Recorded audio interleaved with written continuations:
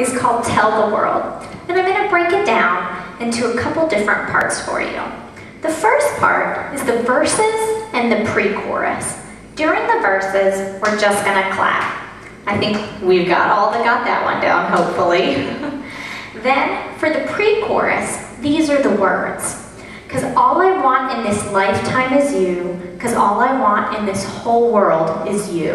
And during that, the first time we sing that pre-chorus, after verse 1, you're just going to clap through it. Then there's going to be some other stuff that happens. We'll get to that in a minute. You're going to sing verse 2 and clap through that. And then you're going to see, sing the pre-chorus again, except the ending is slightly different. So we're going to sing, because all I want in this lifetime is you. Because all I want in this whole world is you, you, you. So point to the right, point to the left, double point up. That is the verses and the pre-chorus right there. The next part I want us to talk about is the chorus itself. It has a couple different motions that have a core motion of going to one side, going to the other side. And I start on the right. So when I do it, I'll always be starting on the right, going left, going right again. So just kind of a lunge with kind of telling the world, uh, telling, yelling hands around your mouth there. So the other actions you're going to add in look like this. Tell the world that Jesus lives jump and do kind of your woohoo concert arm there. So tell the world that Jesus lives. Tell the world that, tell the world that, tell the world that he died for them. I'm making a cross with my arms and letting it go. So tell the world that he died for them. Tell the world that he lives again. And I'm just raising my hands up to heaven. So let's put that together before we go on to the bridge. Tell the world that Jesus lives. Tell the world that, tell the world that, tell the world that he died for them. Tell the world that he lives again. Okay, so that is the chorus, that part's done. Let's go on to the bridge. The core motion for the bridge goes like this.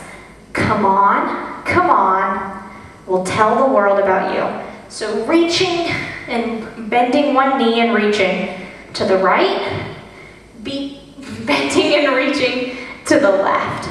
And then doing that kind of yelling, hands around your mouth motion. Now, the background music will help you to know how to do these extra little things I'm about to show you. And of course, practicing will help. So the first four times we get to the bridge, there's an added on hey, hey, hey motion and background that goes along with that. So it'll look like this the first four times you hear that bridge and it all happens in a row. Come on, come on, we'll tell the world about you. Hey, hey, hey, and then you'll go right back into come on, come on. Okay, so a total of four times you're gonna do those hey, hey, heys. Then it switches up a little and you're gonna do the base motion, come on, come on. We'll tell the world about you. So just drop your hands, look up to heaven. There will be no hey, hey, heys in the background music, so that'll be a good cue not to do it. So that's the fifth time that that bridge repeats.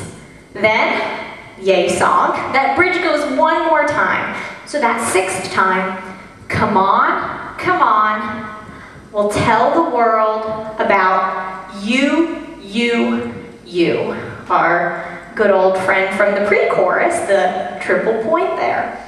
So, that is the bridge that happens six times during the song. Then, our friend the bridge comes back at the end of the song to take us out of it. Now, there's no hey, hey, hey's this time. So you're going to do come on, come on. We'll tell the world about you. That sort of worshipful one. And so at the end, that is what you do. And then the very last words of the song are tell the world that, tell the world about you. And there you have it.